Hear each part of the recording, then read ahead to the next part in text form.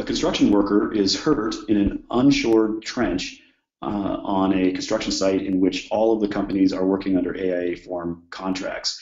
Which of the following is true? The worker may sue the architect who, uh, and who wins will depend on the architect's actions at the job site. The worker cannot sue the architect successfully because there is no contract between them.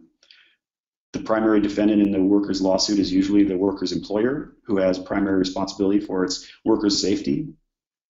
Or D, the claim must be resolved in arbitration or mediation rather than litigation in court because the AIA form contracts contain mandatory arbitration and mediation provisions.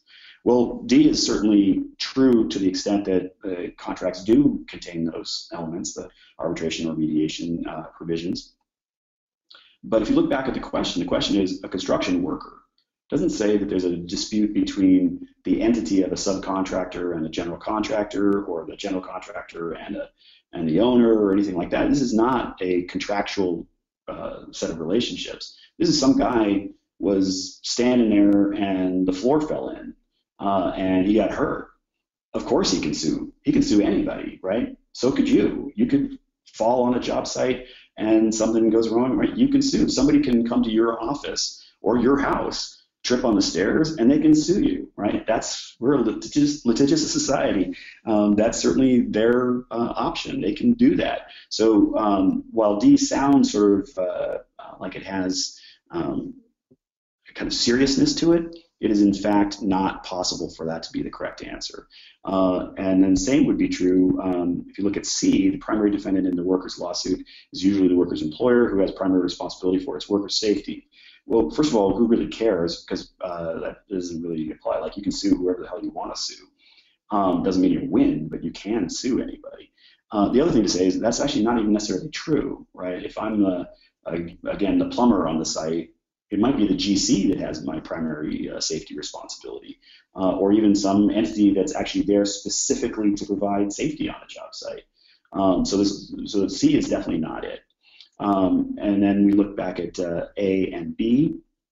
Let's look at B. The worker cannot sue the architect successfully because there is no contract between them.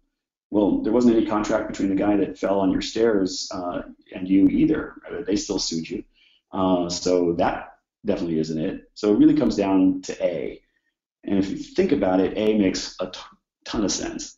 The worker may sue the architect, and who wins will depend on what the architect's actions were on that job site. So what that's saying is, if you've been walking around the job site saying, you should put a handrail over there, and this thing's dangerous over here, you should fix that, or this uh, this uh, electrical wire, you're gonna you're gonna hurt somebody, that thing's a live wire, you should do something about that what you have essentially done by walking around the site saying those things is saying, yes, I am in charge of all the safety on the site.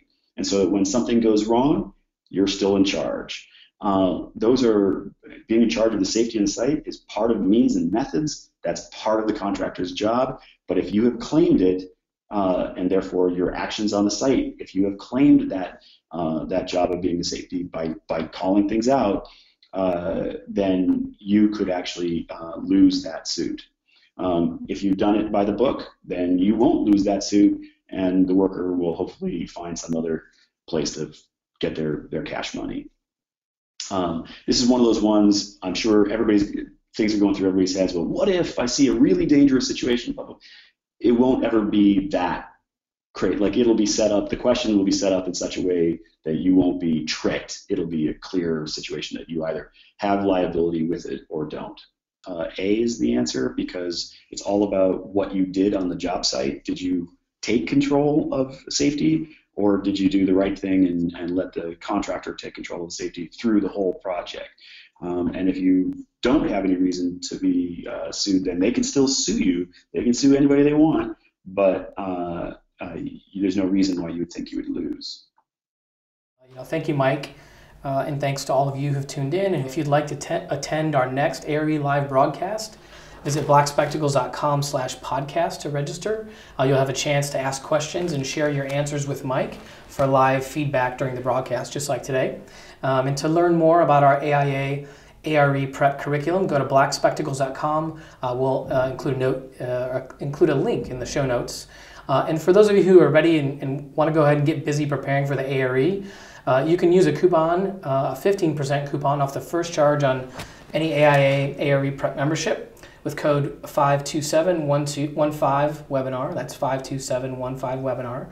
Uh, and that'll expire on June 15th. Um, and of course, if you're already an AIA member, you can visit aia.org slash AREPrep to get a 30% discount for the entire duration of your AIA ARE Prep membership, not just the first charge. Um, and that also uh, expires on June 15th. Um, and finally, uh, please leave a comment below the video to let us know what you think um, and share any suggestions um, that you may have. I promise uh, we'll read every word that you write and use them to tune our next episodes. Uh, so thanks for watching.